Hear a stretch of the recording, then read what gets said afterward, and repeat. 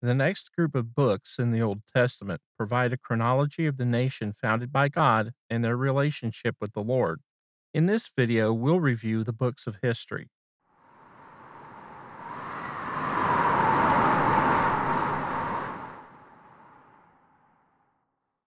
There are 12 books in this category written by various authors, including Samuel and Ezra the scribe, among others.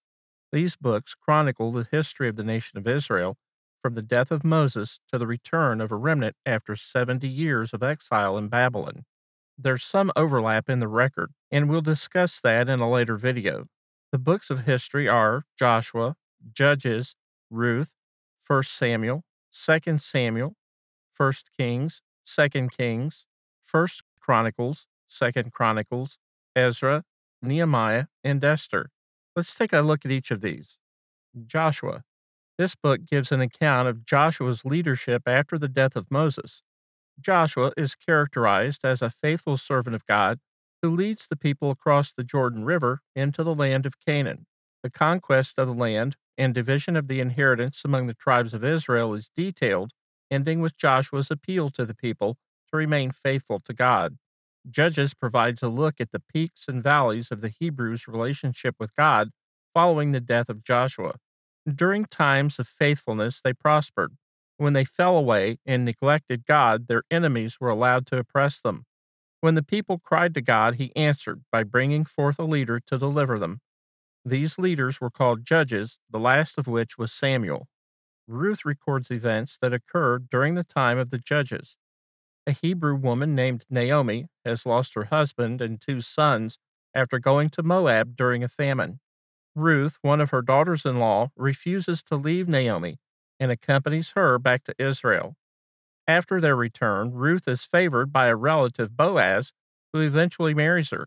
This is a remarkable story of devotion, integrity, and some of the more obscure aspects of the law of Moses. Notable about the book is that Ruth is the great grandmother of King David. First Samuel begins with the life of Samuel, the last judge of Israel, and the nation's desire for a king. After receiving warnings from God about what a king would be like, the people insist on the appointment of a monarch, resulting in the selection of Saul as the first king of Israel. The book gives the account of Saul's reign and rejection by God, leading to the selection of David as his successor. The book ends with the story of Saul's death. 2 Samuel continues the story of the kingdom of Israel during the reign of David. Significant events are recorded as the man after God's own heart leads the nation and serves God. David's faithfulness, as well as his faults, are detailed in the accounts. 1 Kings begins with the death of David and the assumption of the throne by Solomon. During his reign, the temple is built in Jerusalem. As Solomon grew older and was influenced by his foreign wives, he practiced idolatry, for which God informed him that ten of the tribes of Israel would be lost during his son's reign. The kingdom is divided during the reign of Rehoboam, Solomon's son, as was foretold. The latter part of the book details events in the northern kingdom known as Israel through the beginning of the reign of Ahaziah, the son of Ahab. Kings of the southern kingdom of Judah are mentioned, but the majority of the content deals with the northern kings. Second Kings continues the history of the kings of both the northern and southern kingdoms. The work of the prophets is presented in the book as they delivered God's messages to the kings. The fall of both the northern and southern kingdoms is detailed in the book as well. Written after the return from Babylonian exile, First Chronicles begins with a genealogy of those who returned from the captivity. The narrative begins with the death of Saul, the first king of Israel, in chapter 10. The remainder of the book covers the reign of David, ending with his death. Second Chronicles continues the history of the kings of the southern kingdom of Judah following the death of David. The narrative provides more detail about the reign of the southern kings than that given in 1st and 2nd Kings. The book ends with the destruction of the southern kingdom of Judah by the Babylonians. Ezra records the decree of Cyrus for the Jews to return to Judah and began to rebuild the house of God after 70 years of exile from their homeland. The work on the temple and the obstacles presented are detailed as the remnant returns.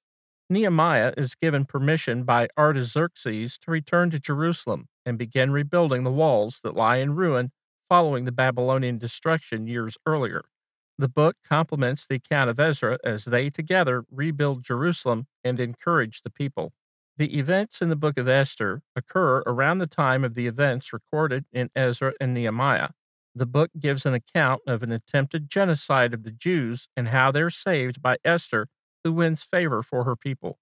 The origin of the Feast of Purim can be found in this book. In the next video, we'll look at the books of poetry or wisdom literature.